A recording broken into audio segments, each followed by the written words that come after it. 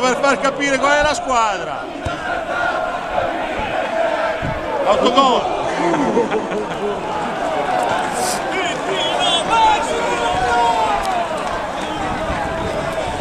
Ma dai, ma davvero davvero, fa due squadre, facciamo, siamo ridicoli. Oh. Dateci di Giulio, ritiratevi dal campionato.